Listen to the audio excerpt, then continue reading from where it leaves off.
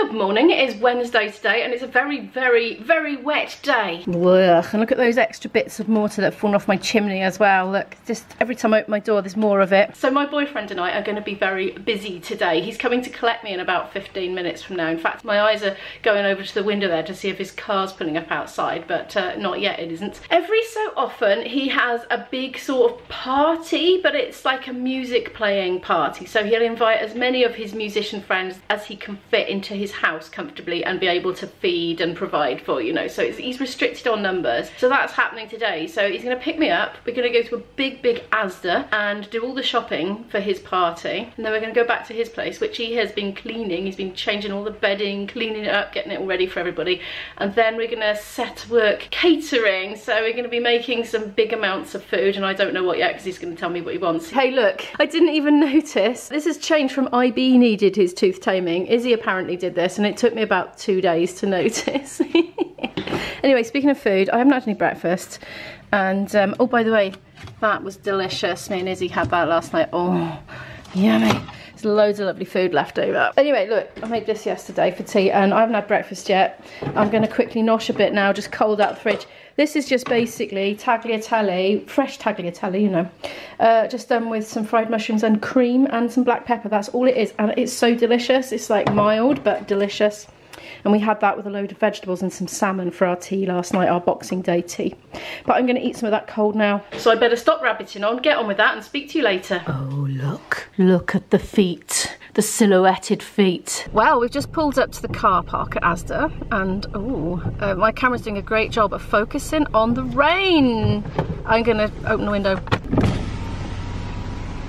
Look, what's over there on the grassy bank having a munch? Horses, are they wild? I don't know. Presumably, they're not, not particularly uh, well groomed.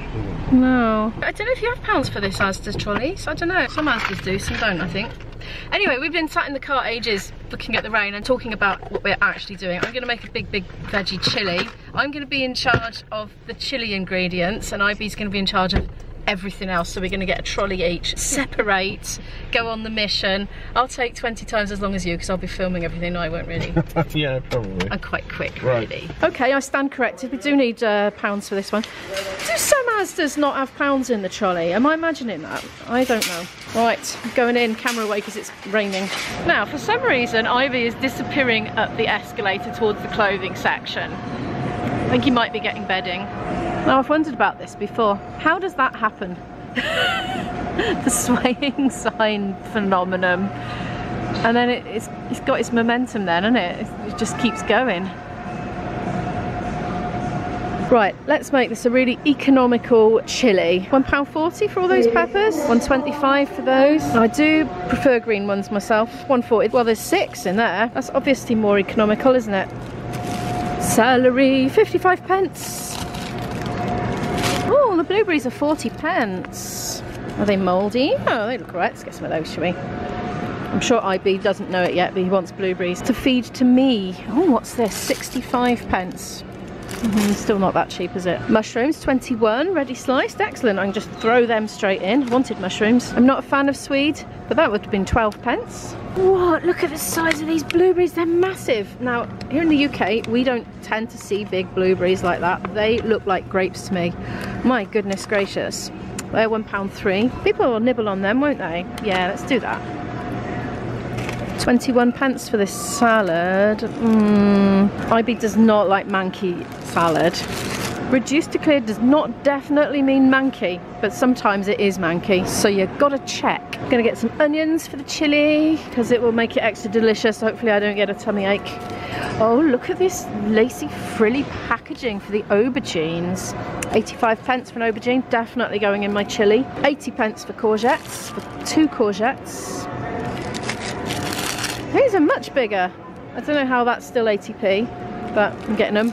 In the car we were discussing doing some baked potatoes as well. I don't know how many. I think he's got five or six people, so that's definitely going to be enough. I wonder if there are any more mushrooms, because I think I could do with some more. I'd like some spinach, that's a pound. What's the difference between that and the 75 pence one, I wonder? They all look the same to me. Well, I'm not sure how much that is then. Hopefully people like spinach. Sometimes people cannot like spinach, can't they? It's like it's one of those things. Oh, I see yellow. 30p, nah. Oh, broccoli would be nice. 30, it's only 30p anyway. Let's just get a big one. That'll bump up the chili, lovely. There weren't any more mushrooms in the reduced to clear, so that's what I'm doing here. I'm looking for more and not finding it, basically. Um, let's get him a garlic, 39 pence. He has ginger, but I'm gonna probably use a load, so I can displace it with that. I still haven't found those mushrooms. I need to go hunting. for a mushroom lover, this is like the sight of heaven. I love chestnut mushrooms actually, I think they're gorgeous, but I really like flat cap because they soak up all the juices of what you're cooking it in. Oh, those are jumbo, and we don't need jumbo, these will do. Uh, how much is that? 85 pence for those. Hopefully this isn't overkill, but there will be breakfast being cooked in the morning, so I'll, I'll get to and I'll confer with him when we meet up. Look, look, the quality streets are two pound. I totally don't need any more chocolate in my life. We're going to be eating our chocolate stash until March, so I'm not going to get them, but oh my goodness. Somebody was just going past with about six of them piled up in their trolley. I conferred with IB. I said, do you need any for your guests? He said, hmm, we could put one in the cupboard, so guess what? We're having one. Oh yeah. There you go, love. Right, I'm off. I'm gonna go and get rice and stuff. I'm looking at the rice. I always do too much rice. I'm rubbish at measuring out rice. I usually end up cooking at least double. It's four pound for two kilos or seven pound for four kilos. So you get a pound off effectively if you buy that. But I think he'll kill me if I get him a sack. he doesn't like storing stuff, you know, he likes to just have what he's going to need. Whereas I'm a complete hoarder, I'll get him that £4 for that basmati. And I'll see what he thinks before we go to the checkout. I'm going to buy this cumin for 80 pence for a nice big packet like that. I'm going to pick him up a can of coconut milk, not for today, but to replace the one I opened the other day. Oh, these are yummy. He will thank me for getting two packets of these for later when everyone's back from the pub. Frustratingly, we didn't think in time about things like spices before leaving the house because I have loads of those at home. But anyway, I'm gonna get some of those for 75 pence. I can't find whole coriander and I got loads of them at home. This is so frustrating, but I think we'll just have to not have whole coriander today. I'm gonna get some of this. I think he's got some, but it's likely to get drunk, isn't it? Ugh. A lot of the um, like soft drinks have got caffeine in, haven't they? That's the thing. You end up drinking too many cans of Coke. Well, something very sweet just happened. When I was here looking for these coriander seeds, there was another lady trying to find stuff as well, and she was saying, oh, it's all the same colour. It's so hard to find, isn't it? And we were having a bit of a laugh about it and getting the giggles. And anyway, she found them. It was just, it was the expensive brand, but I don't think IB will mind. Um, so she came and found me and said, I found it. I found what you're looking for.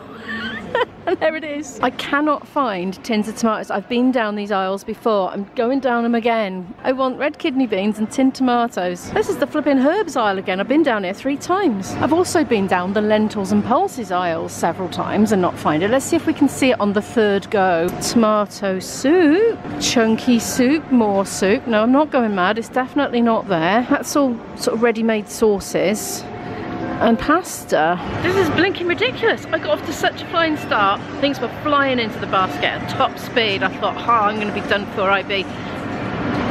But trying to find the tinned pulses proving to be a bit of a challenge. I've basically ground to a complete standstill and I don't want to get the veggie mince, which is frozen, until last because it's frozen. I asked an attendant, the mystery has been solved. We found the tomatoes. Do you know what? There's no label on the aisle and everything else is like sweeties and chocolate. See? No aisle marker and chocolate, sweeties, chocolate biscuits, Haribo's, tin tomatoes.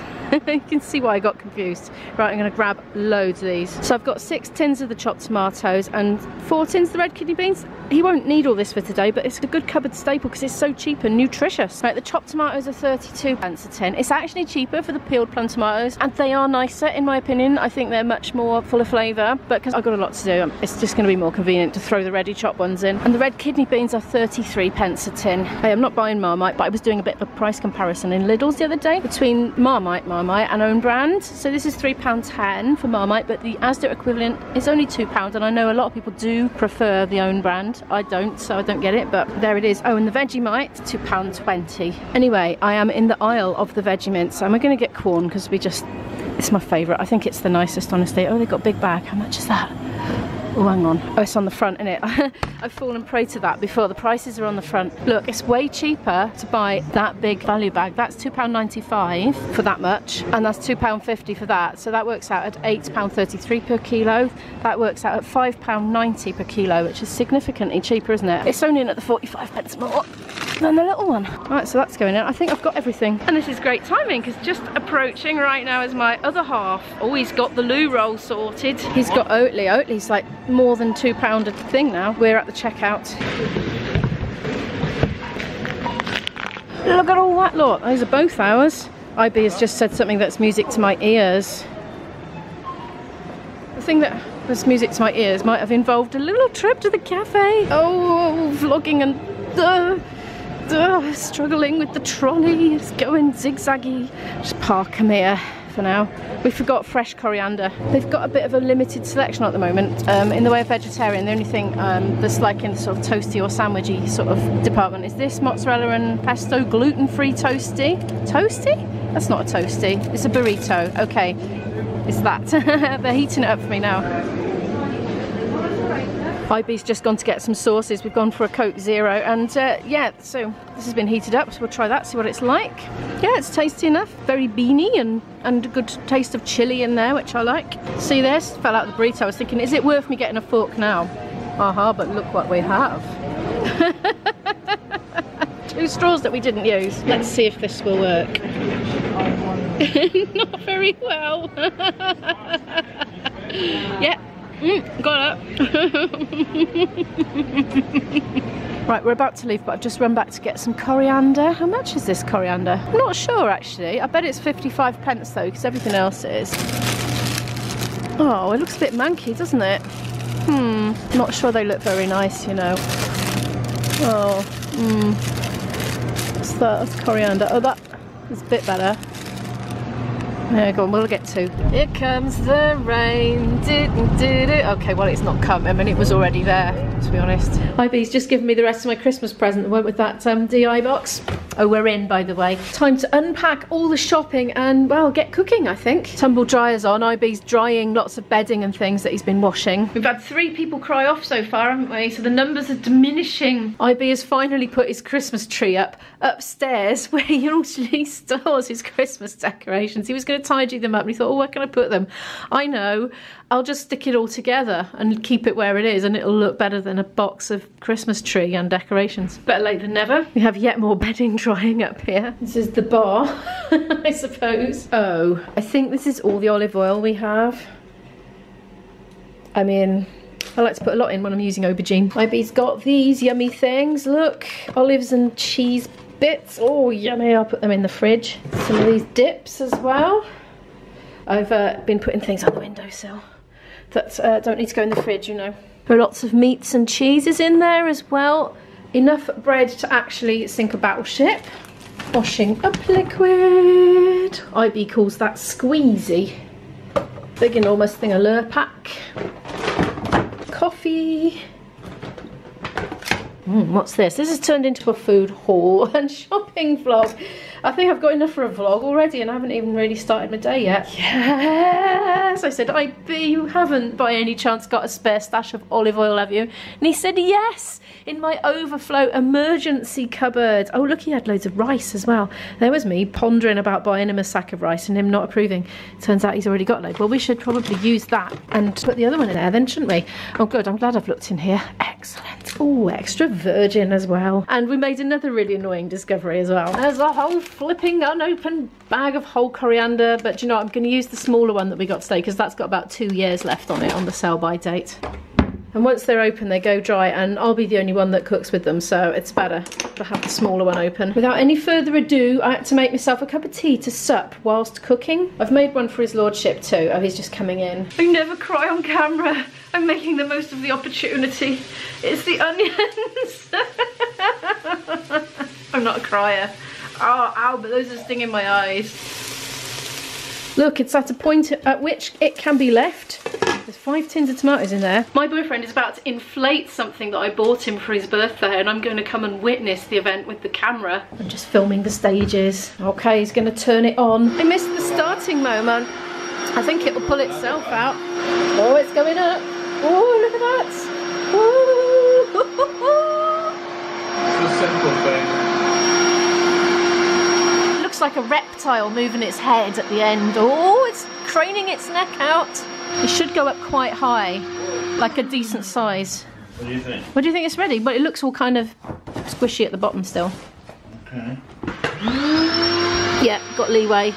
Oh, that's not done at all, no. It's going to get quite firm. I've experienced these before, they, they go nice and firm. I'm squeezing it to see when I think it's done. I mean, I think it could be done, but I think we're nearly there. Nearly. I think so. You don't want them all boinging about on it, do you? Here's the IMO test.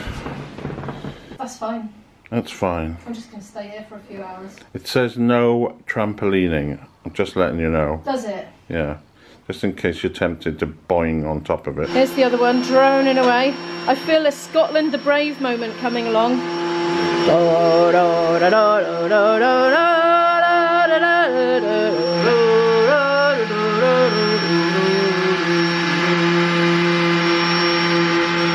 Wow, that looks luxurious, doesn't it? Like super king size. I thought even a couple would be better on two singles than one double because you know what it's like with an airbed? One person moves and then it sort of boings the other person up in the air. I think in real life it'd be better to have two beds pushed together than one double as well for the same reason. I think you're likely to sleep better if you're not getting jiggled about. IB is going to set up another bed in here. He's got a camp bed somewhere. This is where we do our rehearsing. I've just put a bit of wine in that food. It tastes very nice, but it's very sweet. Oh, it's dripping. Look, I haven't got a lid to fit the pan for some reason.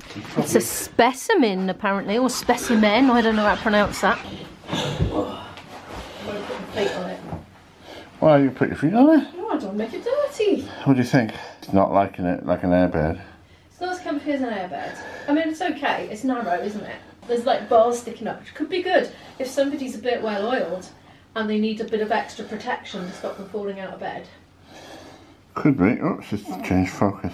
Yes, it does that. It's because it's on the way out. There's no rolling potential. Let's see if it tips up. It doesn't tip up, which is very reassuring because one thing about it is you're always scared that the whole thing's going to tip up on the camp bed, aren't you? So it's nice and stable. We had a bit of a change of heart about the bedding arrangement. So we got one blow up mattress in here. Apparently there was only going to be one person sleeping on here, but because IB only had a double duvet, he said, well, let's have two beds, otherwise it'll look silly. And I said, no, it won't, just fold it over.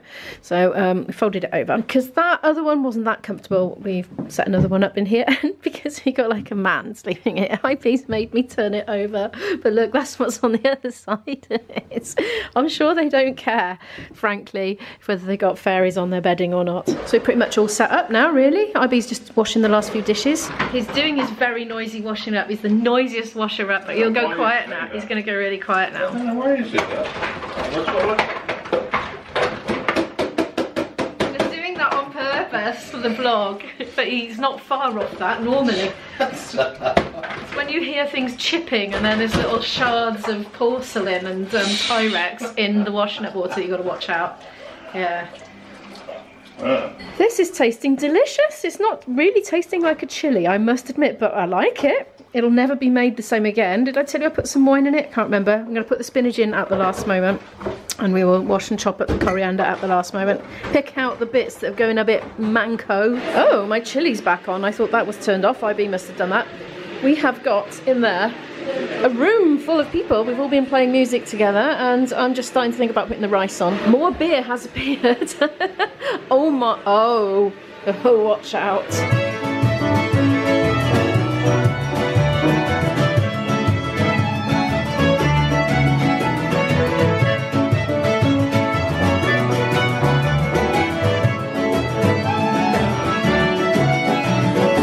Dinner has been eaten, and we're off to the pub. It's a, uh, a road bump coming up.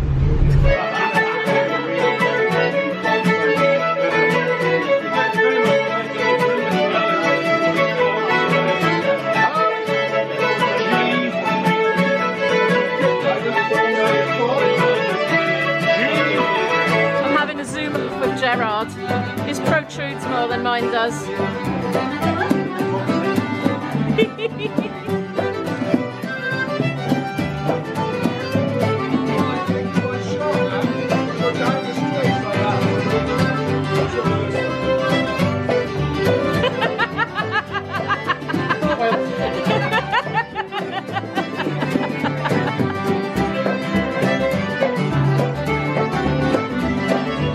bashing into this with my arm and I'm playing. It's a bit bristly.